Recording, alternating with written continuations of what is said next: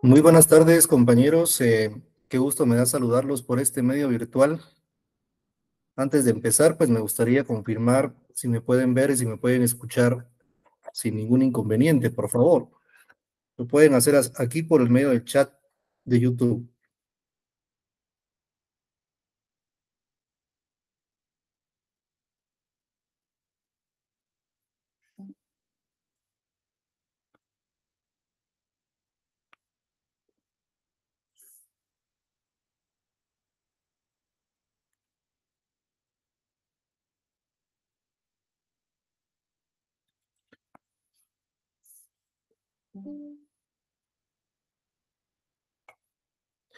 Wendy Velázquez, buenas tardes, qué gusto me da saludarle. Todo bien, excelente.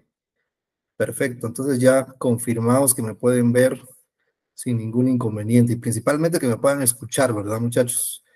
Son las seis con tres. Eh, vamos a esperar dos minutos, por favor, en lo que más compañeros se están conectando.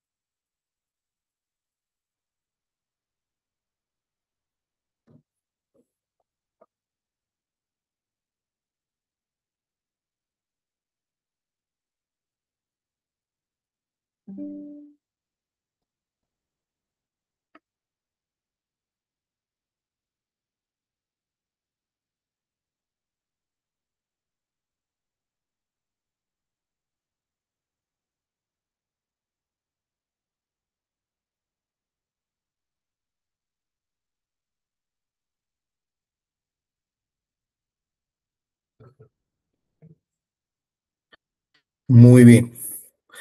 Buenas tardes a todos de nuevo. Wendy, Jacqueline, Sara, Emora, Adilis, buenas tardes a todos. Espero que estén muy bien. Bienvenidos. Bienvenidos al curso de manejo y recuperación de cuencas hidrográficas. Ya transcurrieron cinco minutos, así que pues ha sido tiempo suficiente, creo yo, para que más personas se puedan conectar. Habemos conectados en este momento, según el YouTube, 28 usuarios, 28 participantes. No sé cuántos estudiantes van a ver en el día domingo, pero pues arranquemos, ¿verdad muchachos? Empecemos con el desarrollo de este curso. Probablemente ya algunos de ustedes eh, ya me conozcan, probablemente. Algunos nombres quizá me son familiares, pero igual aquí en el chat de YouTube déjenme saber si ya hemos tenido cursos antes juntos, porque entonces yo ya puedo tener una idea si conocen mi metodología de trabajo. De igual manera vamos a poner um, algunas um, políticas, o mejor dicho, algunas instrucciones que ustedes tienen que conocer para el desarrollo de este curso. En primer lugar, presentarme con todos ustedes. Mi nombre es Douglas Tobar, soy ingeniero agrónomo en sistemas de producción agrícola. Soy egresado de la Universidad de San Carlos de Guatemala y pues tengo el gran gusto de compartir con ustedes en este semestre el curso de manejo y recuperación de cuencas hidrográficas. En realidad es un curso muy, muy interesante que nos ayuda a comprender, em, primero, el concepto de qué es una cuenca hidrográfica, seguidamente de cuál es su importancia dentro de los planes de administración y de manejo. Y en tercer lugar, pues algunos métodos, algunas técnicas que podemos implementar, eh, algunos recursos geográficos, topográficos que podemos utilizar para pues delimitar una cuenca hidrográfica. En este curso, eh, si no estoy mal, se unen varias carreras, agronomía, ingeniería ambiental, manifiéstense los ambientales, por favor, los agrónomos aquí en el chat para saber con quiénes estoy trabajando, por favor. Si no estoy mal, creo que están ustedes en el quinto semestre de la carrera. Están justamente en la mitad de la maratón que implica pues esta carrera profesional. Marlon, en frutales, sí, tienen toda la razón. De verdad, es un gusto volver a estar con ustedes. En esta ocasión, pues compartiendo otros tipos de conocimientos. Siempre la retroalimentación, ustedes saben que es bienvenida. Haré mi mejor esfuerzo para que ustedes tengan un curso de calidad. Y pues también hay que tomar en cuenta que esta modalidad virtual, así como ofrece pues algunas uh, ventajas, también nos ofrece algún tipo de obstáculos, principalmente cuando estamos hablando de cursos prácticos. Y es que este curso se divide en dos partes. Eh, podríamos decir que un 50% es teórico, porque hay muchos, pero muchos conceptos que, que asimilar, que aprender. Y pues un 50% también es práctico. Y esa parte práctica, por lo regular, se realiza en laboratorios, eh, se realiza con equipos, con computadoras eh, o inclusive pues con papel con recursos geográficos, mapas topográficos, mapas geográficos, pues se hacen eh, de manera manual cuando hay los recursos. Pero como este es un curso virtual, eh, como lo están recibiendo ustedes en todos los cursos, pues yo haré mi mejor intento para poder explicar por medio de videos grabados o pregrabados algunas, eh, algunos ejercicios que vamos a desarrollar por medio de sistemas de información geográfico que hoy en día pues son recursos tecnológicos que están a la mano, que están disponibles para poder eh, delimitar cuencas hidrográficas. Probablemente algunos de ustedes ya tengan pues algún dominio básico o, avanzado en el uso de, sistemas de información geográfico. Algunos tal vez ni siquiera han escuchado este término y pues será entonces la oportunidad de conocer estos eh, sistemas informáticos. Sara, quinto semestre de agronomía, muy bien. Ezequiel, agronomía también. Adilis, agronomía, muy bien.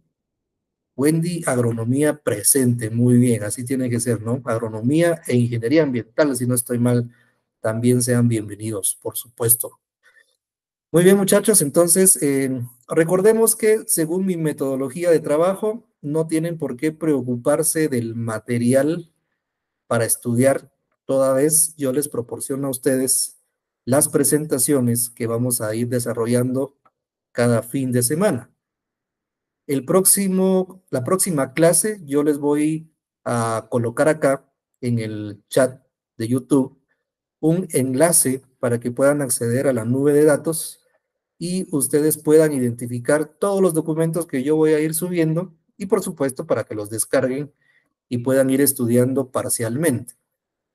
Eh, ojo, porque tenemos escasos 90 em, minutos para poder avanzar con, con, todo el contenido del curso. Si bien es cierto, es un periodo doble, eh, a veces no nos será lo suficiente para poder eh, abarcar todo lo que necesitamos, ¿sí? Entonces yo quisiera pedirles que no sean conformistas, no se conformen nada más con, con lo que veamos aquí durante la clase, que esta clase sea únicamente una guía para que ustedes puedan también investigar por su cuenta y aprender un poco más cada semana. Por supuesto, yo les voy a ir dando eh, la estructura, los elementos principales, pero ustedes también, espero, hagan un compromiso con ustedes y conmigo de poder ir siendo autodidactas e ir investigando cada vez más en la medida de sus posibilidades. Número dos, recordemos que este curso es eh, de fin de semana. Si usted por alguna razón no puede recibir su clase eh, un domingo, pero sí lo puede hacer el sábado, también está invitado a conectarse el día sábado porque lo estamos transmitiendo en el mismo horario, ¿sí? En el mismo canal y en el mismo horario. Eh, eso es porque comprendemos que en alguna ocasión pues no es posible asistir por alguna eventualidad pero lo que sí me gustaría pedirles es que sean regulares, sean constantes, por favor. Si no pueden sábado, lo hacen domingo, si no pueden domingo, lo hacen sábado, pero no hay excusa para no, no, no para perderse la clase, a eso me refiero.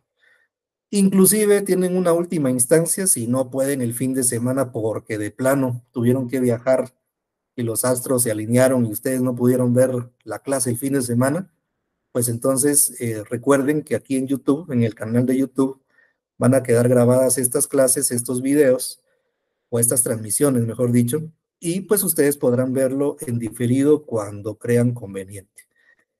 Creo que la Universidad Rural de Guatemala les está brindando eh, pues recursos que estén accesibles, eh, está brindando la oportunidad de que ustedes puedan encontrar un, refugio, por decirlo de alguna manera, donde poder estudiar y obtener el aprendizaje que necesitan para ser grandes profesionales. En otras universidades este, esta metodología no está tan disponible, así que pues no es porque yo sea catedrático de la rural, pero sí aplaudo eh, la modalidad y los recursos que se están brindando para el estudiante. Repito, cualquier retroalimentación, cualquier comentario que venga a mejorar o aportar, a enriquecer el desarrollo del, club, del curso o de la clase, pues será más que bienvenido. Recordemos que aquí en el chat de YouTube también podemos eh, plasmar nuestras dudas, eh, los comentarios que sean afines al curso. Únicamente pediré el respeto debido, el comportamiento debido. Eh, recordemos que también hay damas presentes, ¿verdad? Aquí leyéndonos. Y pues yo quisiera que nos comportemos a la altura, ¿verdad, muchachos? Yo creo que está de más pedirlo, pero creo que es conveniente también. Y pues por último, recordarle las tareas. Tenemos dos tareas eh, a desarrollar en el transcurso del semestre. Estas serán publicadas en la plataforma de la universidad oportunamente. Así que los invito a estar atentos eh, cuando la universidad publique estas tareas. Si no estoy mal, una semana publican la tarea para que sea del conocimiento de todos ustedes y en la semana subsiguiente ustedes tendrán que desarrollarla. Entonces, por favor, es importante que estén atentos a esas fechas, según calendario, porque eh, pues definitivamente forma parte de la zona. Exámenes parciales, eh, tenemos dos exámenes parciales y un examen final. Los exámenes parciales se van a publicar también debidamente. Tienen ustedes un calendario inclusive que les indica cuándo va a ser la semana de exámenes y el material que necesitarán para estudiar por lo regular está contenido al final de la clase en las preguntas que vienen al final de la presentación. Ojo, que son preguntas guía, no significa que solamente esas preguntas van a venir. En un 80% el examen va a estar constituido por esas preguntas, pero un 20% serán preguntas nuevas que no aparecieron allí en ese cuestionario. Entonces, repito, ya tienen por adelantado el recurso, ya tienen el chivo, por decirlo de alguna manera, solo es que ustedes den, eh, caminen el otro 50%, caminen el otro tramo para estudiar y prepararse. Muy bien, entremos entonces en materia. Recordemos que tenemos 90 minutos, es un periodo doble. Por el hecho de que estamos eh, pues muy corridos, vamos a tratar de hacer un pequeño receso de unos 4 o 5 minutos cuando finalicen los primeros 45 minutos pues para que ustedes tengan la oportunidad de ir por un vaso de agua, estirarse, eh, relajarse un poco, ¿no? Porque dos periodos consecutivos, pues entiendo que a veces puede ser un poco estresante, principalmente un domingo a las seis de la tarde, ¿no? Es complicado. Pero bueno, empecemos con pie derecho, con todo el entusiasmo, muchachos, y pues aprendamos juntos lo que tiene este curso para todos. El día de hoy estamos semana número uno y empezaremos con conceptos muy generales sobre cuencas hidrográficas. El objetivo es ese, que usted conozca conceptos que están relacionados con el tema de cuencas hidrográficas. Probablemente usted ya habrá escuchado de este tema o quizás sea la primera vez en su vida que está escuchando esta terminología. Antes de empezar a hablar propiamente de las cuencas hidrográficas, vamos a recordar y vamos a afianzar algunos conocimientos que probablemente ustedes ya adquirieron eh, a lo largo de sus primeros años de estudio de esta carrera y vamos a hablar propiamente de ambiente. Definimos al ambiente como un conjunto de factores externos que pueden ser, por ejemplo, factores atmosféricos, de clima, hidrológicos, geológicos y biológicos que actúan sobre un, un organismo, una población o una comunidad. Nosotros mismos en este momento estamos siendo influenciados por un conjunto de factores externos que de alguna manera repercuten en nuestro comportamiento y en el desarrollo de todas nuestras funciones. Probablemente en algunos lugares del país donde ustedes están exista mucho calor, ¿verdad? Y eso pues de alguna manera lo estresa uno. También puede haber demasiado frío y de igual manera va a influir en la manera que usted se adapta al ambiente. A lo que quiero llegar es que el ambiente por sí mismo, el concepto, implica algunos factores que nosotros no podemos necesariamente manipular y que van a influir pues en nuestro desempeño.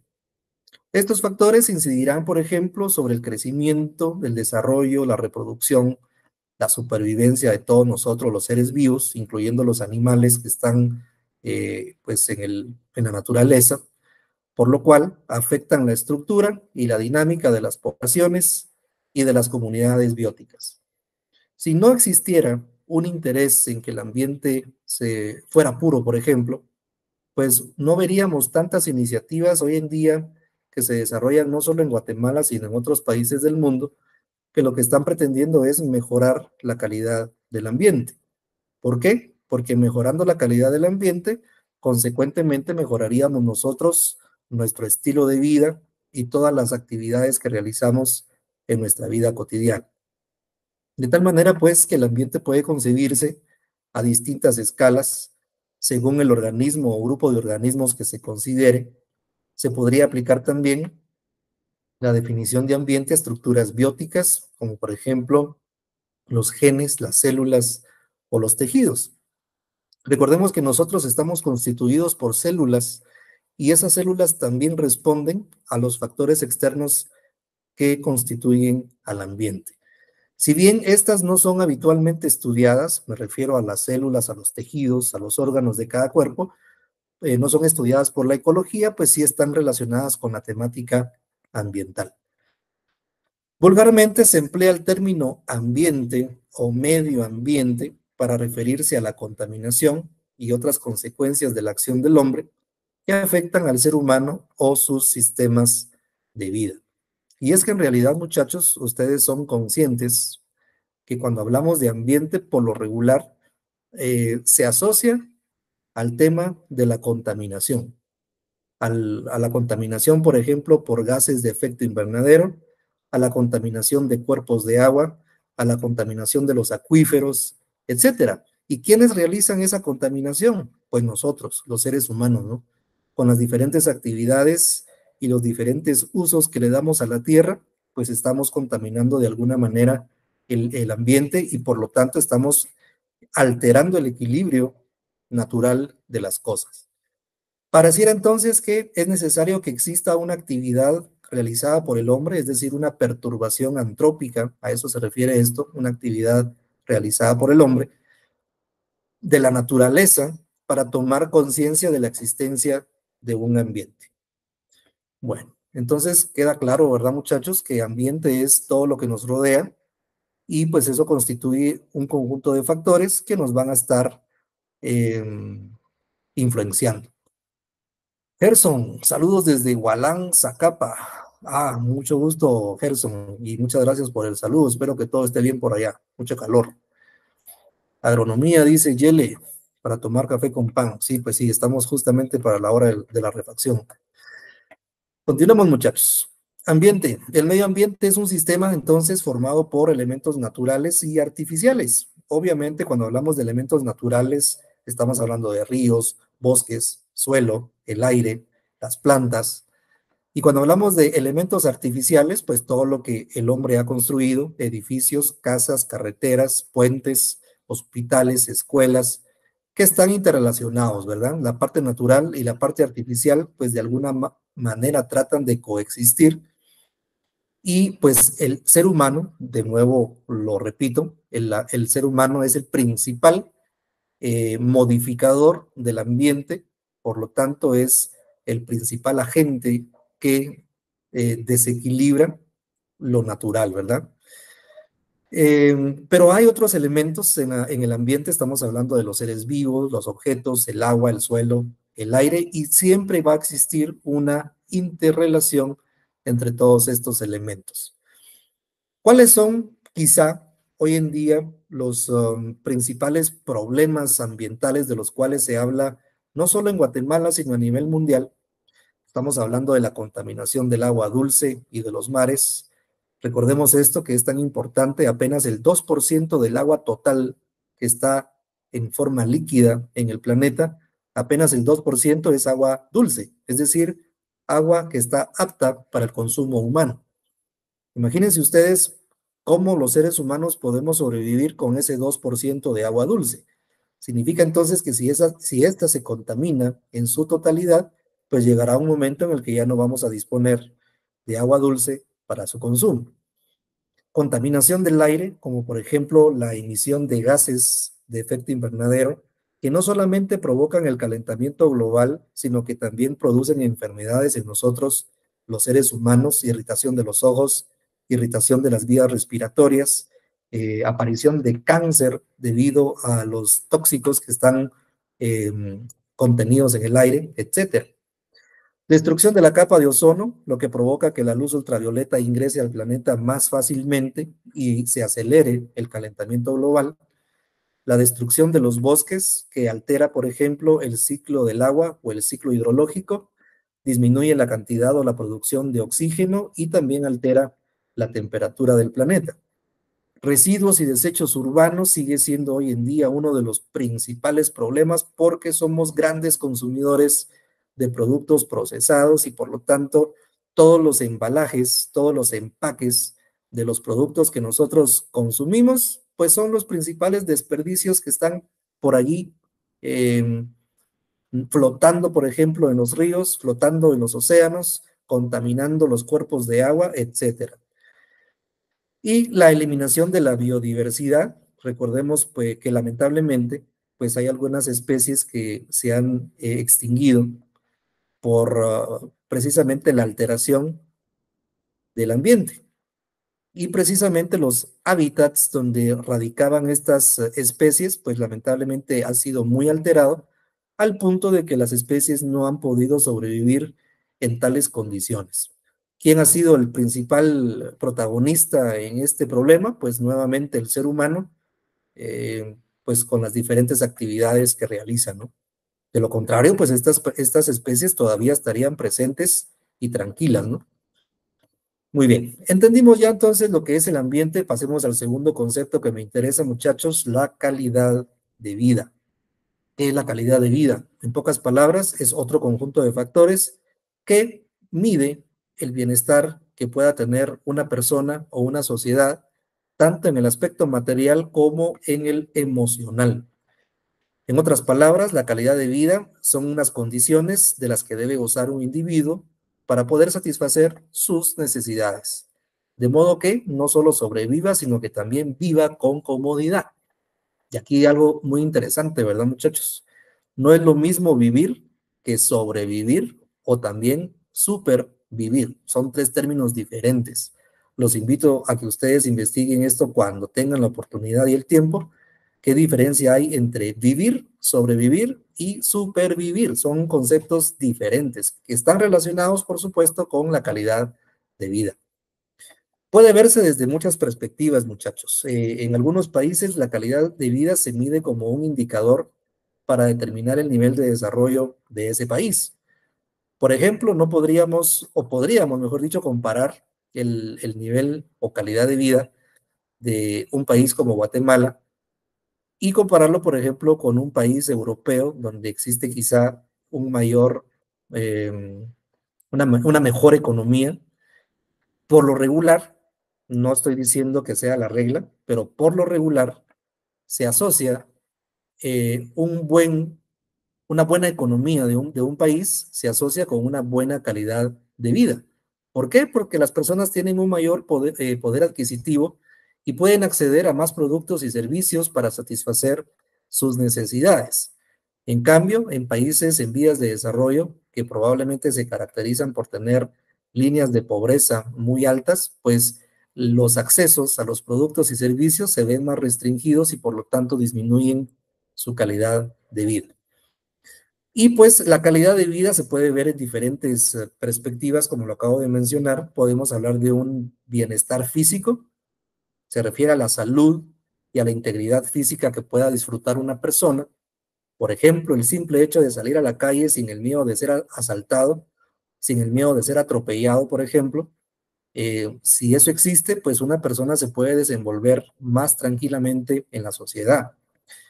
Inclusive, por ejemplo, el acceso a un hospital de calidad, tener la tranquilidad de que al hospital donde usted vaya van a haber buenos doctores eh, dando buen servicio, van a haber medicinas, eh, van a ser bien atendidos, ¿no?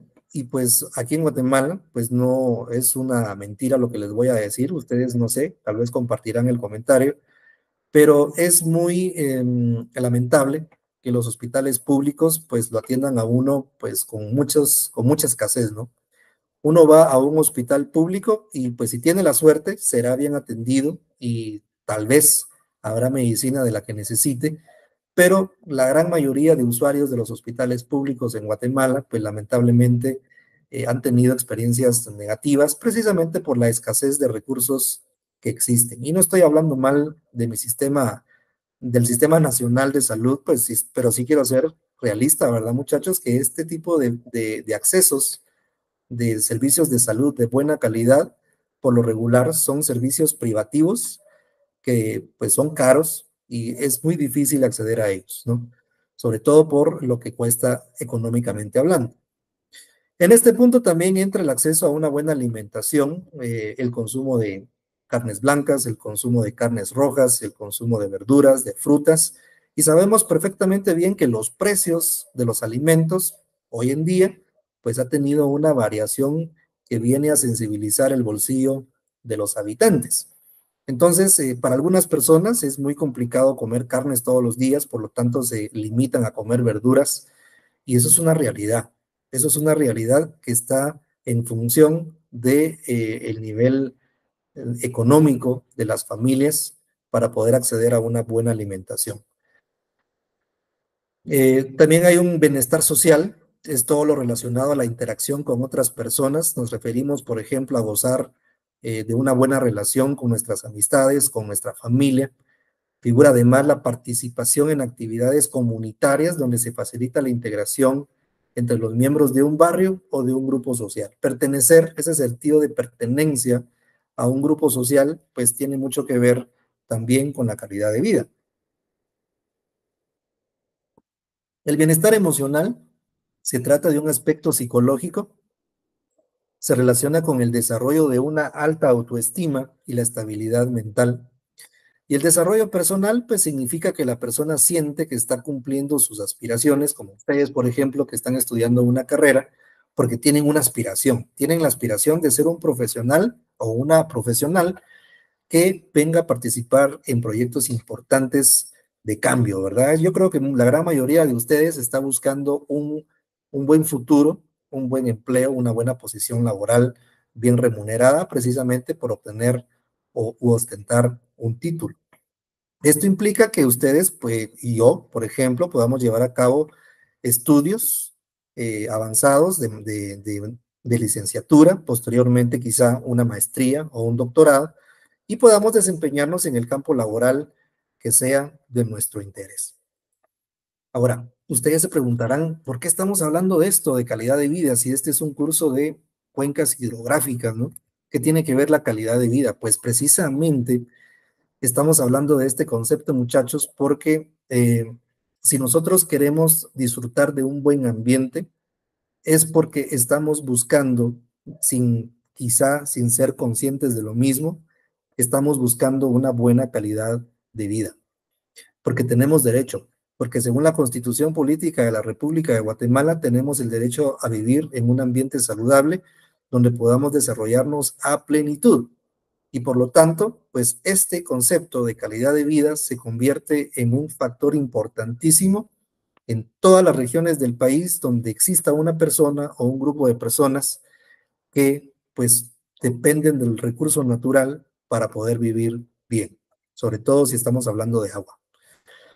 Recursos naturales, y entonces ya vamos con lógica, ¿verdad, muchachos? Primero hablamos del ambiente, luego hablamos de la calidad de vida que buscamos como seres eh, individuales, y ahora hablamos de los recursos naturales de los cuales disponemos para poder alcanzar los anteriores. Los recursos naturales son los bienes o los servicios que proporciona la naturaleza sin la intervención del hombre, es decir, lo que el planeta nos brinda, sin que nosotros lo estemos propiciando. Para la economía, diremos que es la ciencia y el arte que se especializa en el manejo adecuado de dichos recursos, aunque estos, vale la pena mencionar que en algún momento resultarán insuficientes ante las necesidades infinitas de la humanidad. Es como un, es como un sueldo, ¿verdad, muchachos? Sabemos que mensualmente, para los que trabajamos, vamos a percibir un sueldo mensualmente ese es un recurso económico, pero no es infinito. Tarde o temprano, ese dinero, ese recurso, se va a agotar en la medida que lo vayamos utilizando. Traigamos ese mismo escenario a los recursos naturales y es exactamente lo mismo. Los recursos naturales ahí están en el planeta, ahí están disponibles, pero nosotros los seres humanos los vamos utilizando conforme a nuestros intereses y necesidades y en algún momento se van a agotar y pues vamos a tener dificultades. Los recursos naturales se pueden dividir en dos secciones o en dos ramas, los recursos no renovables y por otra parte los recursos renovables.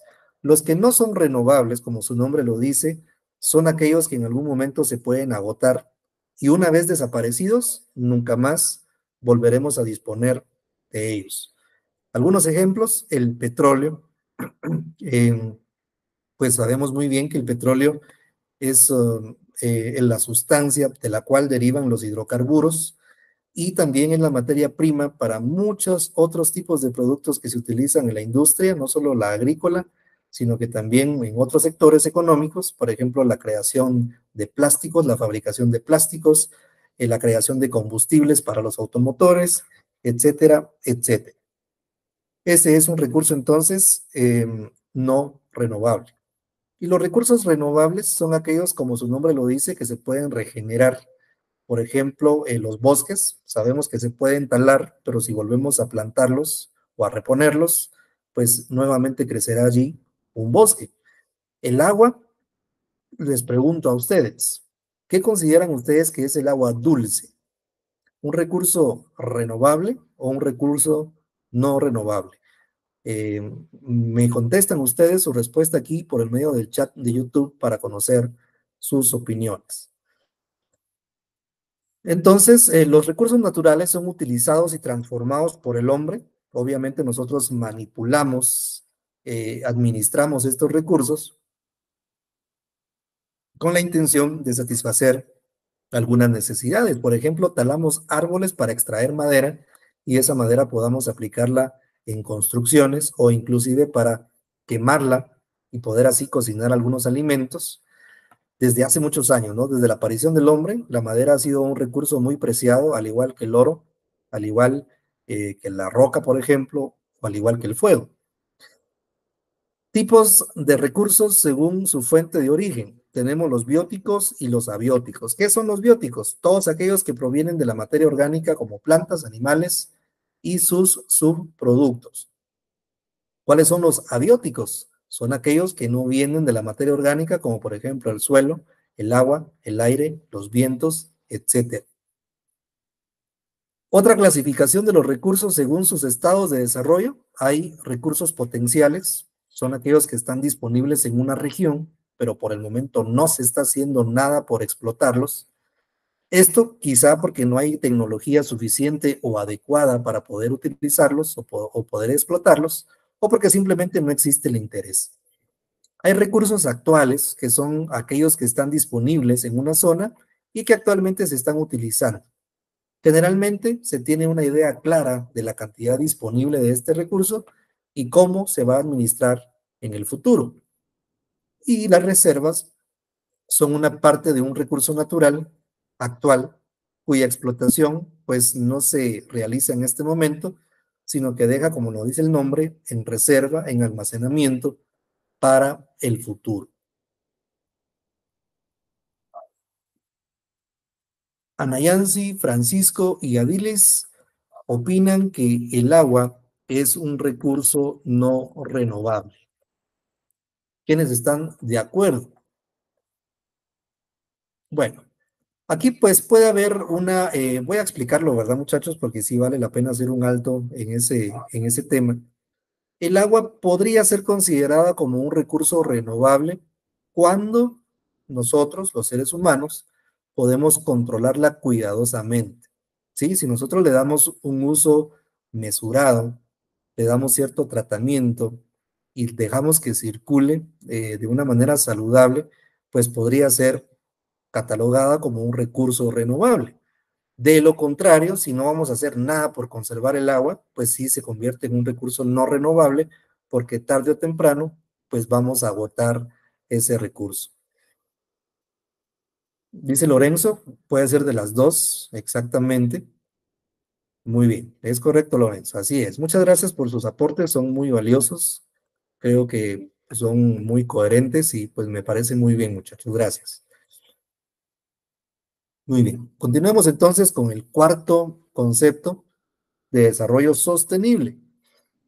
Desarrollo sostenible es aquel desarrollo que es capaz de satisfacer las necesidades actuales sin comprometer los recursos y las posibilidades de las futuras generaciones. A ver, ¿qué significa esto, muchachos?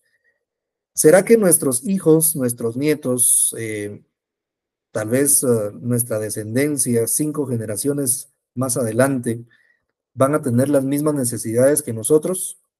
Pues muy probablemente sí, ¿verdad? Van a tener la necesidad de vivienda, van a tener la necesidad de alimentación, van a tener la, necesidad de agua consumible y pues por lo tanto no podemos despreocuparnos por las necesidades que puedan tener en el futuro. Y eso es precisamente lo que implica el concepto de desarrollo sostenible. Es decir, em, aquel desarrollo que es lo suficientemente inteligente para tomar en cuenta las necesidades que tenemos hoy, las generaciones existentes, los que vivimos hoy, pero sin olvidar que en el futuro también habrán personas que van a tener las mismas necesidades que nosotros. Y en ese aspecto, pues se comprenden cuatro dimensiones, la sostenibilidad social, la económica, la ecológica y la técnica. La sostenibilidad social hace énfasis en la búsqueda del equilibrio entre el respeto al medio ambiente, el crecimiento económico y el bienestar social. En palabras sencillas, la sostenibilidad social, muchachos, implica que seamos conscientes de que sí necesitamos los recursos naturales, pero que tenemos que buscar un equilibrio que sea saludable para no afectar la disponibilidad del futuro.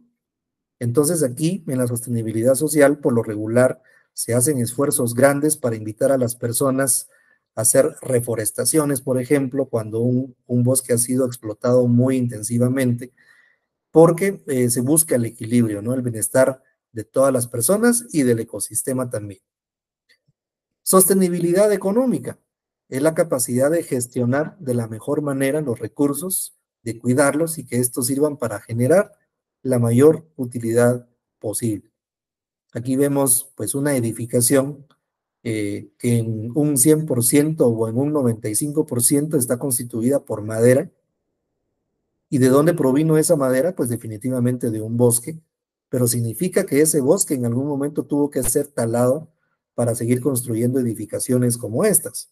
Entonces, la sostenibilidad económica dice, bueno, seamos inteligentes y reconozcamos que esto lo vamos a seguir necesitando en el futuro por lo tanto, hagamos planes de reforestación, como lo están haciendo estos niños aquí en la fotografía, enseñándoles a proteger y a cuidar los recursos para que sea sostenible en el tiempo. A eso se refiere el término de sostenibilidad. La sostenibilidad ecológica implica la propuesta de criterios necesarios para establecer cambios, adaptaciones y límites del sistema ecológico ante la presión ejercida por los procesos de desarrollo socioeconómico. A ver, en palabras muy sencillas, cada vez que nosotros talamos un bosque, cada vez que nosotros utilizamos o desviamos el curso de un río, lo que estamos haciendo es ejercer una presión en la naturaleza.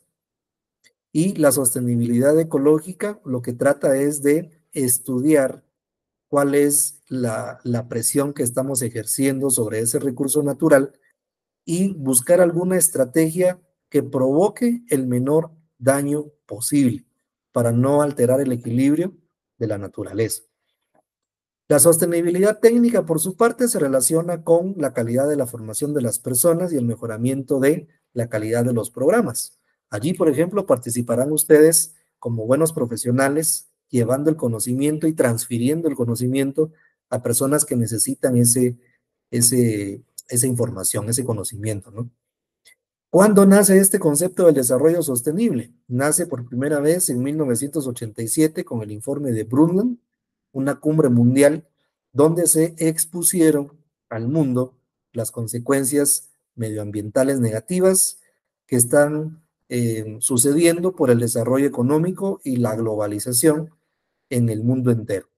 Es decir, es la cumbre mundial donde se puso de manifiesto que nosotros los seres humanos estamos afectando negativamente al planeta con todas nuestras actividades. Entonces surge aquí en esta cumbre el concepto de desarrollo sostenible como una búsqueda común de todos los países para buscar la salud y la recuperación de todo el planeta.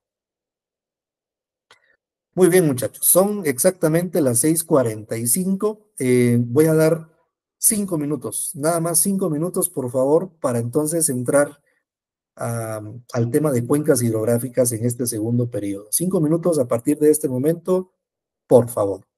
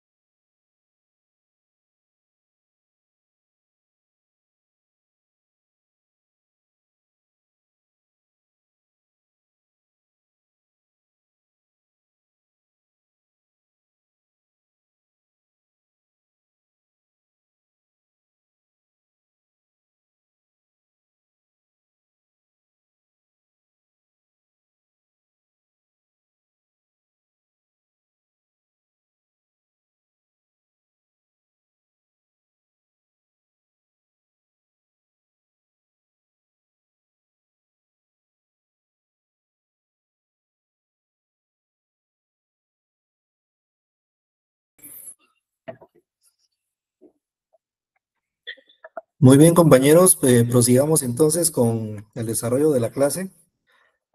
Como ustedes recordarán, pues eh, hemos aprendido eh, o retomado los conceptos de ambiente en primer lugar, luego calidad de vida, seguido de recursos naturales y posteriormente el desarrollo sostenible. Todos estos conceptos que hemos estudiado, muchachos, están relacionados con el tema de manejo de cuencas hidrográficas precisamente porque todos los esfuerzos que se hacen en función de un plan de recuperación y manejo de cuencas hidrográficas, pues tiene que ver con eh, muchas personas que radican en estos territorios, ¿no? Así que vamos a continuar con la lógica de la clase y vamos a definir ahora qué entendemos por cuenca hidrográfica. Cuando hablamos de una cuenca hidrográfica, muchachos, por favor piensen en un territorio que puede ser lo suficientemente grande para, em, por ejemplo, resguardar montañas, volcanes, ríos, viviendas, lagos, lagunas, etc. Es un territorio prácticamente donde eh, coexiste el recurso natural con las personas, como lo vimos en la clase anterior perdón, en, el concepto anterior. Entonces, si, si sabemos que hay personas que están habitando en este territorio y sabemos que esas personas dependen de los recursos naturales para poder vivir y tener una buena calidad de vida, también sabemos que dependen del ambiente y de los factores externos para que ellos puedan vivir a plenitud. Y también sabemos que esos recursos en algún momento pueden ser renovables o no renovables, por lo tanto requieren una administración inteligente por parte de las personas, principalmente porque sabemos que no solo los que están vivos van a necesitar ese recurso, sino que también las generaciones subsiguientes y por lo tanto, eh, pues estamos hablando del, del desarrollo sostenible. Ahora quizá ustedes tienen una mejor comprensión por qué hemos abordado los cuatro conceptos anteriores para poder entender cuál es la participación tan importante del hombre en un territorio con respecto a los recursos naturales que lo rodean. Entonces, una cuenca hidrográfica, muchachos, para ser ya muy puntual, es una zona geográfica drenada por las aguas que en cierto punto se unen y desembocarán hacia otro cuerpo de agua. Aquí ustedes pueden observar en la figura, pues un conjunto de ríos que están drenando por todo el territorio y que en algún momento todos se van a unir en algún punto denominado punto de aforo y allí van a desembocar a otro cuerpo de agua más grande. Puede ser un océano, puede ser un lago, puede ser una laguna o inclusive un río mucho más grande. A menudo un pequeño río se alimenta de uno más grande, por lo que la cantidad de agua de la cuenca se hace más grande. Aquí obviamente estamos viendo un dibujito, ¿verdad muchachos?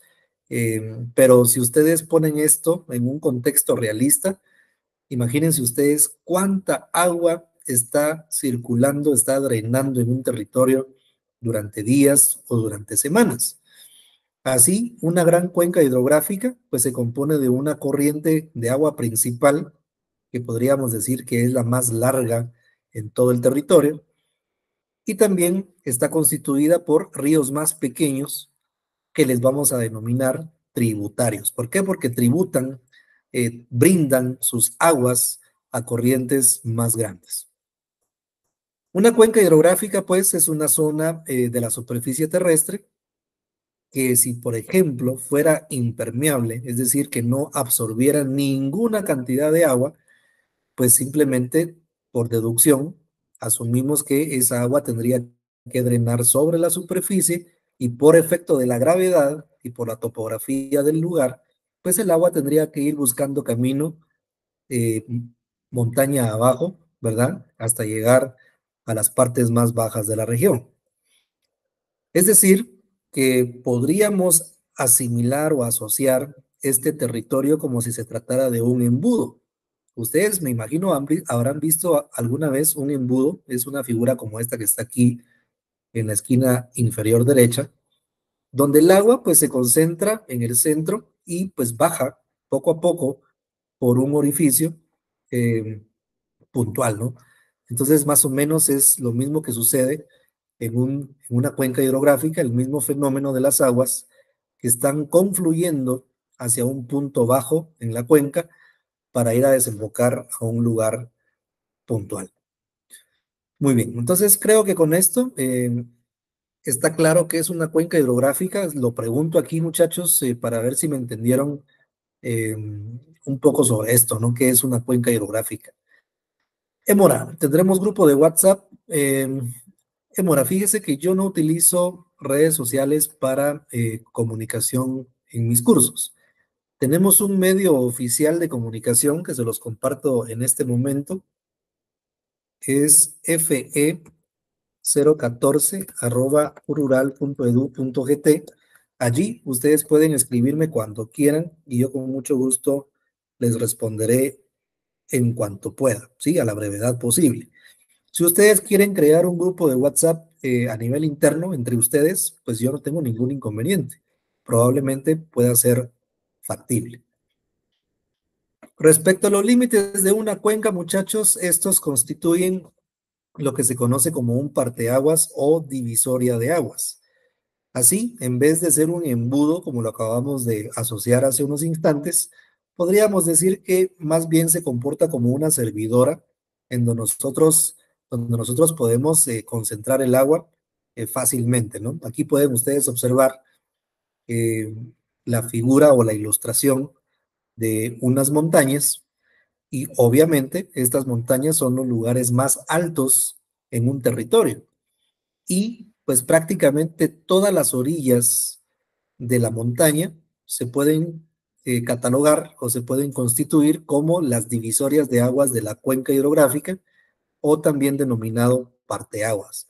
¿Por qué se le llama parteaguas? Porque sencillamente cuando llueve cuando el agua de la lluvia cae sobre la superficie, por efecto de la gravedad y por la topografía del lugar, pues el agua va a tener que buscar a dónde escurrir y lo hará a cualquiera de los cuatro puntos cardinales, norte, sur, oriente u occidente, ¿verdad? Por eso se le denomina parteaguas. Y pueden ustedes observar ahí algunas pequeñas flechitas amarillas que demuestran o que, eh, o que explican que el agua está drenando desde las partes más altas hasta partes más bajas y por eso es que se forman ríos a lo largo de todo el territorio. ¿Qué tipos de clasificación de cuencas hidrográficas podemos hablar? Ok, hablemos de la primera, cuenca exorreica. Son aquellas cuyas aguas llegan al mar o al océano, ¿sí? Aquellas cuencas cuyas aguas llegan al mar o al océano. Es decir, que tienen una o más salidas de agua hacia un caudal mayor o hacia un lago o inclusive hacia el mar. Por eso le decimos que es una cuenca abierta o exorreica. Tiene una fuente de desembocadura. La cuenca endorreica, por su parte, que es lo contrario, no tiene ninguna aguas desembocan en lagos o lagunas que no tienen comunicación al mar. Pues eh, por lógica sabemos, ¿verdad, muchachos? Que algunos lagos no necesariamente están eh, a la altura del nivel del mar. Algunos lagos están en elevaciones más altas y por lo tanto, pues también tienen los ríos eh, alguna posibilidad de desembocar en estos cuerpos de agua. De tal manera que las cuencas endorreicas les vamos a denominar cerradas o endorreicas y por lo regular dan origen a los lagos si la impermeabilidad del suelo se lo permite. El día de ayer un compañero hizo la pregunta, ¿qué pasa entonces con el agua de los lagos? Si no tienen ninguna salida, ¿por qué no rebalsan eh, como, lo, haría un vaso, verdad, que se está llenando? Y pues eh, una de las razones por lo que esto no sucede, muchachos, es porque existen otros fenómenos que propician el equilibrio, como por ejemplo la evaporación, que el sol produce sobre el espejo de agua, que poco a poco va disminuyendo el volumen de ese lago. Por otra parte, también el suelo tiene una capacidad, una capacidad de absorción donde el agua poco a poco se va filtrando hacia, las, hacia el subterráneo y pues ahí se incorpora a otros ríos que van fluyendo por debajo del suelo. Por poner algunos contextos, ¿no? También tenemos la cuenca criptorreica.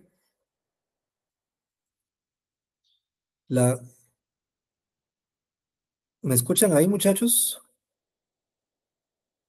Por favor, me, me confirman aquí en el chat de YouTube si me pueden ver y me pueden escuchar. Lo hago por el comentario que hace Gerson Ramos, que no se escucha o se va el audio. Puede ser, Gerson, que también su recepción en donde quiera que se encuentre no esté muy bien.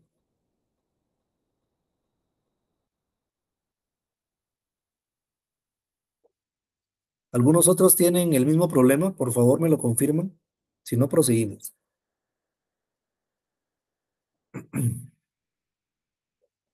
Lorenzo, sí me escucha, ¿ok?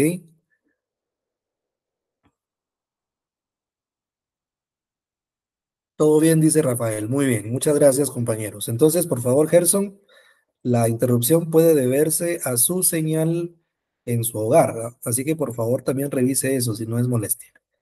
Excelente, gracias. Continuemos entonces, muchachos. Eh, tenemos la cuenca criptorreica que fluyen subterráneamente, es lo que les estaba comentando, ¿verdad? Cuando una cuenca o los ríos fluyen por debajo del suelo, estamos hablando de una cuenca criptorreica.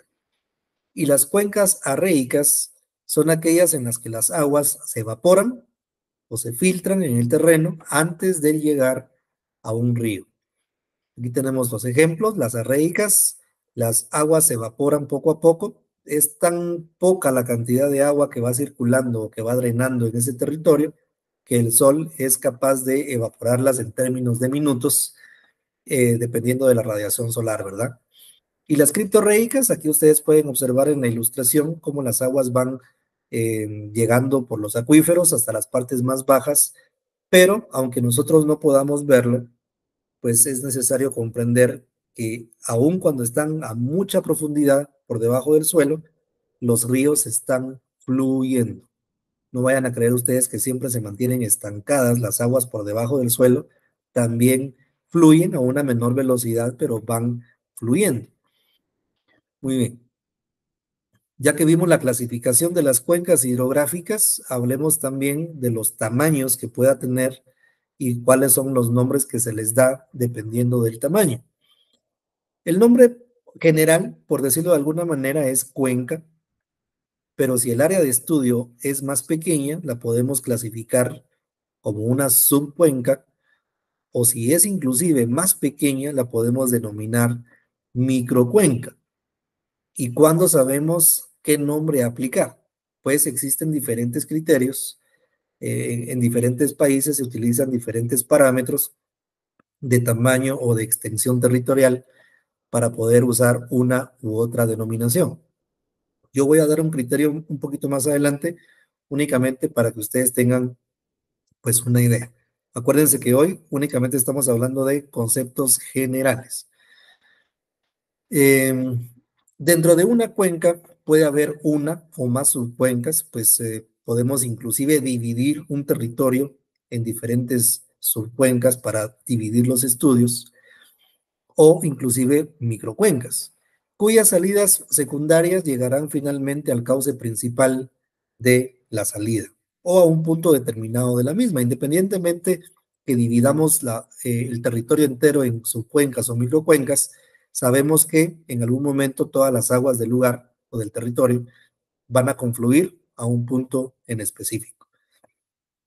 Todas ellas, cuenca, subcuenca o microcuenca, conforman lo que vamos a denominar de ahora en adelante como sistema de drenaje. ¿Qué es el sistema de drenaje? Pues esta, eh, esta, este aspecto gráfico que ustedes están observando en este momento, que se asemeja a un chiribisco, ¿verdad? En realidad es sencillamente la distribución espacial de los ríos en un territorio. ¿Sí? Eh, lo vamos a ver más adelante, los tipos de distribución que pueden tener los sistemas de drenaje.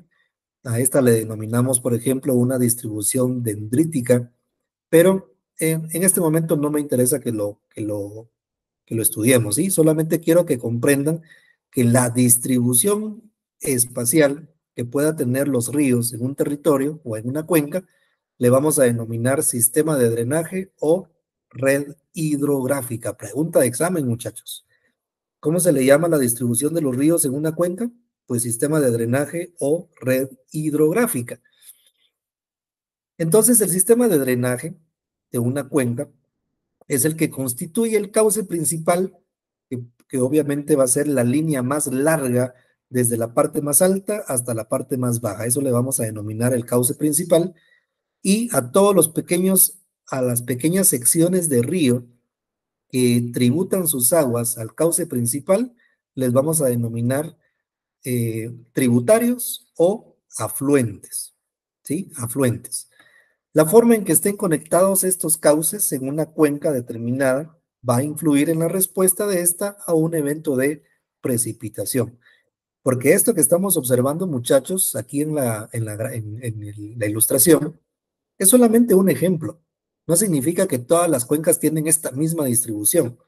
Este es solamente una ilustración, una referencia que nosotros tenemos para entender que hay ríos que se están distribuyendo en todo el territorio.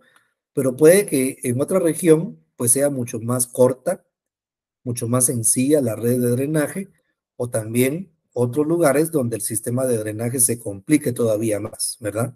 Es una, es una referencia.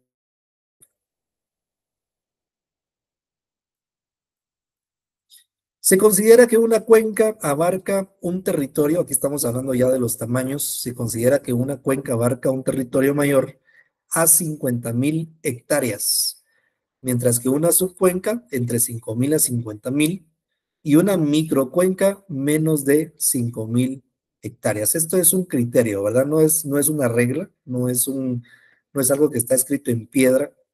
Eh, es una referencia que ustedes pueden utilizar para una clasificación de cuencas según su extensión territorial. Hablemos ahora de las partes de una cuenca hidrográfica. la vamos a dividir en tres partes sencillas, la parte alta, la parte media y la parte baja. Aquí tenemos una ilustración que es un modelo de elevación digital donde podemos ver el relieve de un territorio. Se le llama parte alta porque es ahí donde están las montañas, las partes más altas del lugar o del territorio. Pueden ser montañas, pueden ser volcanes, pueden ser cerros, pero son la parte más alta. La parte media es aquella que tiene compartidas características topográficas y morfológicas de la parte alta y también de la parte baja. Y la parte baja que tiende pues a ser por lo regular casi plana o plana. ¿Por qué? Porque se está acercando en algunos casos a la altura sobre el nivel del mar o hacia algún lado.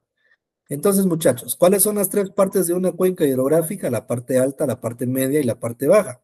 Cada una de estas partes tiene características totalmente diferentes. Por ejemplo, si nos imaginásemos en este momento, en este lugar, que, cae, que caen aguas fuertes, de lluvia, pues la velocidad de precipitación o la velocidad de drenaje va a ser mayor en las partes altas porque la topografía y la pendiente es muy pronunciada, por lo tanto el agua va a drenar muy rápidamente en las partes altas. En la medida que el agua va circulando cuenca abajo, a la parte media y a la parte baja, la velocidad del agua va a ir disminuyendo porque la pendiente es menor.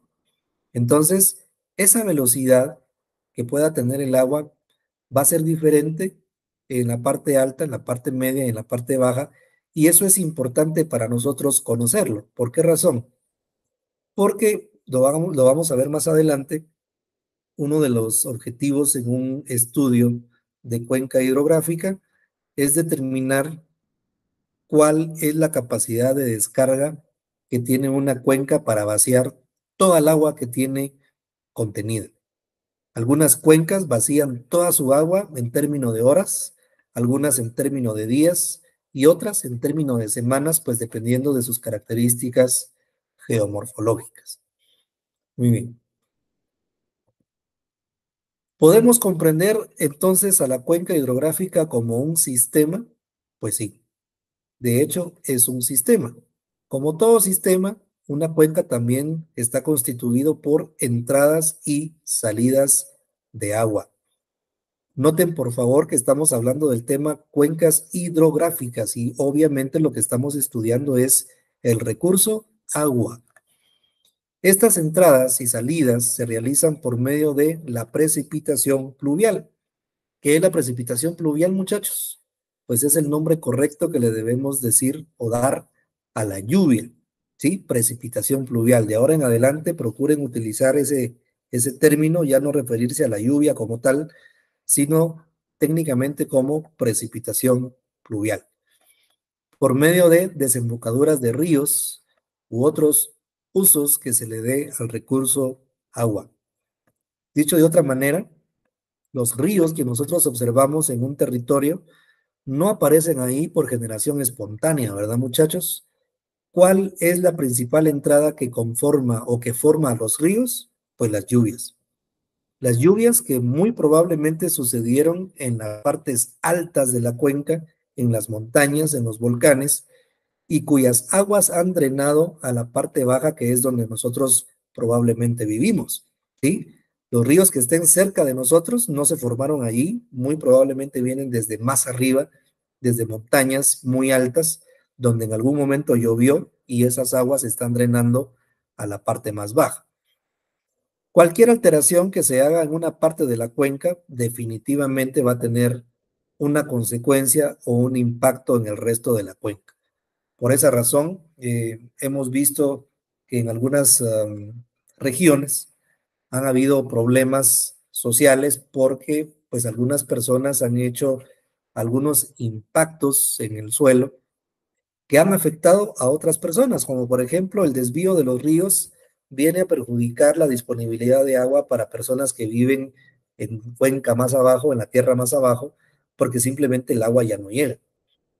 Eh, por ejemplo, las grandes em, inmobiliarias que han construido grandes complejos habitacionales han utilizado o han retenido gran cantidad de agua y por lo tanto muchas personas se han visto perjudicadas eh, con el recurso agua. Por poner únicamente un contexto, ¿no? Un ejemplo. Muy bien. Vamos bien, muchachos. Si vamos bien, me regalan un 8 aquí en el chat para saber que me van entendiendo y que van en línea conmigo, por favor.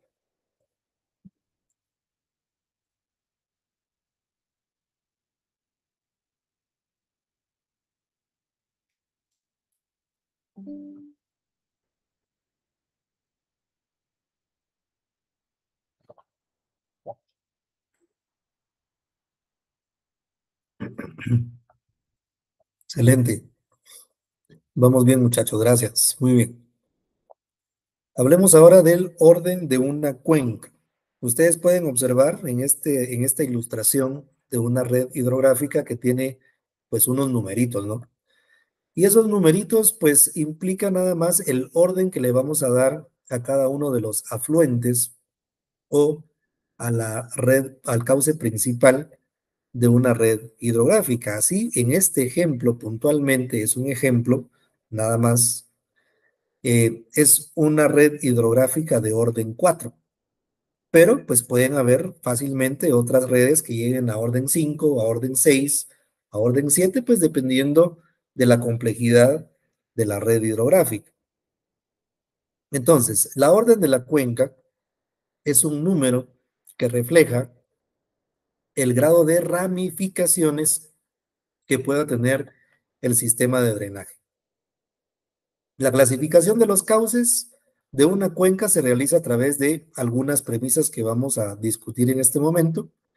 Número uno, los cauces de primer orden son los que no tienen tributarios, es decir, aquellos que no se alimentan de ninguno. ¿sí? Los números uno ustedes pueden observar aquí en la ilustración que están ubicados en las puntas, ¿verdad? ¿Qué significa eso? Pues que en palabras sencillas, son aquellos ríos que se van a formar directamente por la lluvia en las partes altas de una cuenca. No tienen otros ríos que les brinden sus aguas, son ellos los que aportan sus aguas a corrientes que se forman en las partes medias y en las partes bajas. Los cauces de segundo orden, por ejemplo, todos los que dicen número 2, se forman de la unión de dos o más cauces de, de primer orden. Entonces ustedes pueden observar claramente que cuando se juntan dos corrientes de orden 1, van a dar lugar entonces a una corriente de orden 2. Ustedes pueden ver ese fenómeno que se respeta aquí en la ilustración. Cuando se unen dos números 1, automáticamente se forma una corriente más grande que es número 2. Y así sucesivamente. Cuando se unen dos corrientes de orden número 2, se formará entonces una corriente más grande de orden 3. ¿Y por qué digo más grande? Porque la número 3, por ejemplo, eh, está concentrando las aguas que vienen de todos los números 1 y todos los números 2. Es, tiene un gran caudal por lo regular. Y si seguimos en esta misma ilustración, todas las corrientes números 3, cuando se juntan, conforman entonces un cauce más grande todavía y final en este ejemplo, que sería el orden 4. ¿Qué pasaría por lógica si hubiera otro número 4? Pues cuando se juntan formarían un número 5 y así sucesivamente. A eso nos referimos entonces con el orden de una cuenca.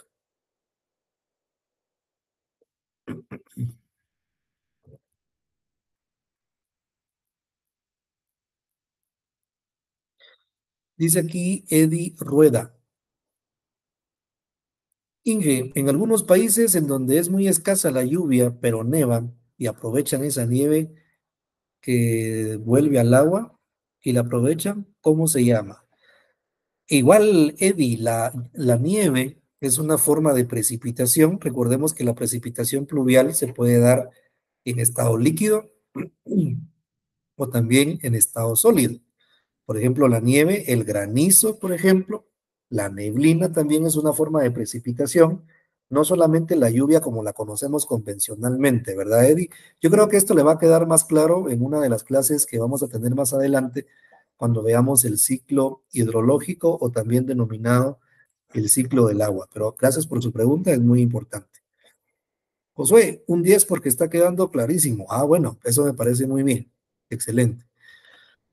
Entonces, ya aterrizando muchachos, una cuenca hidrográfica es el área de terreno conformado por un sistema hídrico que tiene depósitos de agua dulce en distintos estados físicos y que están disponibles o potencialmente disponibles.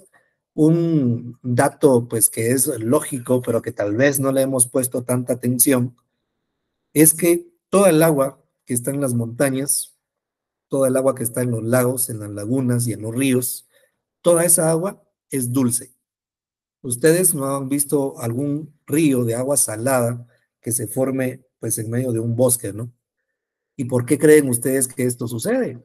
Pues gracias al ciclo hidrológico que vamos a ver en algunas clases más adelante. Únicamente lo voy a dejar ahí como dato interesante para que ustedes se sientan pues entusiasmados a, a conectarse la próxima ocasión, ¿sí? Eh, ¿Qué pasaría si los ríos, las lagunas, los lagos fueran de agua salada? Pues tendríamos problemas, ¿no?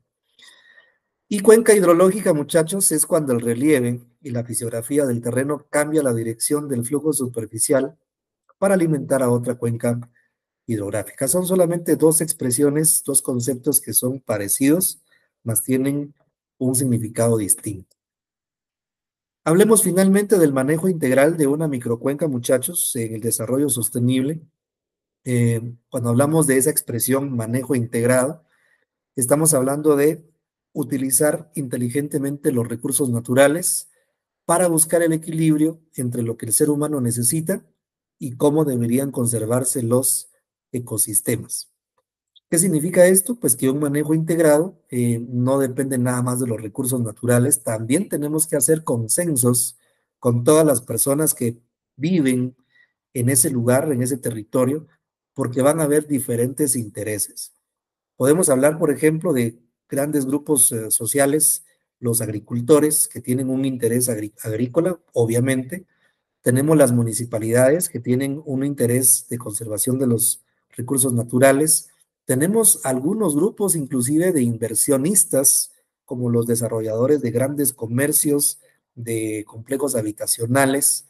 Tenemos también empresarios que eh, generan empresas industriales que explotan los recursos naturales y el agua y que también tienen otros intereses totalmente diferentes. Entonces, realmente es un proceso un poco complicado llegar a tener un consenso, un consenso, perdón, donde todas las partes resulten plenamente satisfechas. Es realmente un gran esfuerzo el que se tiene que hacer para llegar a convencer que puede haber un punto de equilibrio donde todos resulten, pues, de alguna, manera, de alguna manera, pues, beneficiados. Y es ahí donde usted, como futuro profesional, futuro agrónomo, futuro ingeniero ambiental, seguramente va a ser las veces de un conciliador que venga a mm, presentar a todas las personas que son actores en ese territorio, pues propuestas de mejora, propuestas de manejo y convencer, pues no es tarea sencilla, ¿verdad muchachos? Tampoco imposible. El término de manejo de cuenca comienza a aplicarse en forma relativamente extendida en América en 1960, no es un término nuevo, ya tenemos casi 60 años eh, trabajando con este concepto de manejo de cuenca, pero en pocas palabras eh, es una gestión integrada donde tratamos de cuidar el agua, donde tratamos de aplicar la agricultura, la silvicultura, donde tratamos de cuidar y conservar la naturaleza, donde también hacemos planificación urbana porque seguimos creciendo como sociedad y necesitamos dónde vivir. Eh, desarrollamos infraestructura, hacemos planes de desarrollo regional y pues sabemos también perfectamente que estamos influenciados por fenómenos climáticos y el cambio climático que hoy en día pues es tan, tan, tan importante, ¿no?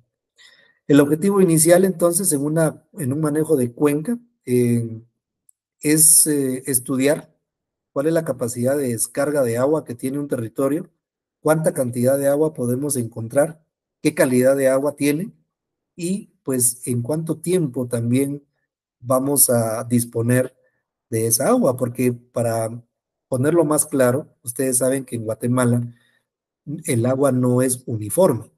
Es decir, hay lugares donde no llueve muy frecuentemente, hay lugares donde llueve quizá eh, uno o dos meses al año, y otros lugares que, están más bendecidos, donde llueve casi que todo el año, pero que también tienen otros tipos de problemas. Entonces, muchachos, a lo que me refiero es que em, las características hidrológicas que pueda tener cada territorio, pues van a diferir mucho, ¿no? Con el tiempo, el enfoque de manejo de cuenca ha ido cambiando, ahora se asocia más a temas de gestión ambiental, de ordenamiento territorial, de desarrollo regional, busca el mejoramiento de la calidad de vida de los habitantes y pues sabemos que para lograr ese, esa, esa calidad de vida y el buen manejo de los recursos, necesitamos invertir en educación. Somos un país que lamentablemente eh, todavía tiene mucho em, por hacer en el tema de, de, la educación. Hay muchas personas que ni siquiera llegaron al, al grado, al nivel primario o básico, y pues la cultura y la educación es uno de los principales obstáculos que ha permitido el uso inteligente de los recursos naturales. Así que nos toca a nosotros, los, los que hemos sido privilegiados con, con estudio universitario, ir al campo, ir a transmitir el conocimiento y pues de alguna manera intentar ser factores o agentes de cambio, cambio positivo, por supuesto. Eh, para finalizar, muchachos, solamente quiero mencionar que pues existen algunos recursos que ya son proporcionados por el gobierno de Guatemala eh, en tema de cuencas hidrográficas. Y aquí pues voy a hablar puntualmente del mapa de cuencas hidrográficas escala 1.50.000 que desde el año 2009 está disponible como un recurso para poder clasificar y conocer la distribución de las cuencas hidrográficas a nivel de la República. Ustedes pueden acceder a este material yendo directamente al Ministerio de Agricultura, al Departamento de Sistemas de Información Geográfico y pues comprar un mapa en tamaño grande o inclusive en, en, formato vectorial para poder utilizarlo y manipularlo en sistemas de información geográfico. En Internet, inclusive, ustedes pueden eh, descargar el manual técnico de este material y pues lo pueden revisar en consulta. Creo que está disponible gratuitamente, pero únicamente es un PDF, ¿verdad? Para poderlo visualizar. Con esto voy a finalizar entonces eh, la clase de hoy, muchachos. Les agradezco la atención. Aquí les voy a dejar las preguntas guía para la clase número uno de cuencas hidrográficas. Les, les, repito, no significa que son las únicas preguntas que van a venir en el parcial, son una guía nada más. Así que por favor, tómense la tarea de revisarlas cuando tengan la oportunidad y estudien, muchachos. Estudien porque es parte del el proceso, ¿no? Es parte del proceso. Muchas gracias por la atención. Eh, no estoy seguro si ustedes reciben conmigo el próximo curso, que es el de Cultivos 4. Ustedes me avisan por acá, por favor, si es así.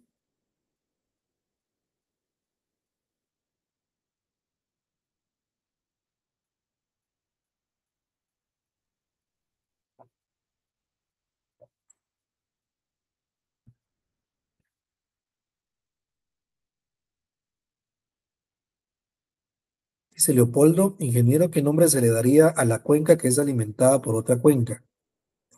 Pues se le sigue llamando cuenca, ¿verdad, Leopoldo? No tiene cambio de nombre, porque en la clasificación de las cuencas es únicamente por tamaño, ¿sí? Por tamaño. Cultivos de exportación, sí, correcto, cultivos 4, ese es el que tienen conmigo, ¿verdad, Dilis? Bueno, entonces nos vemos en breves minutos para el último periodo. Creo que es el último que tienen, creo, ¿verdad?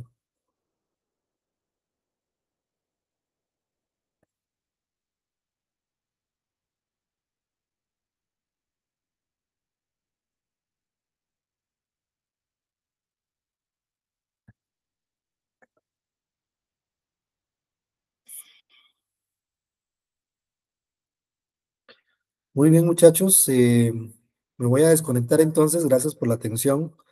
Espero que la clase haya sido eh, interesante.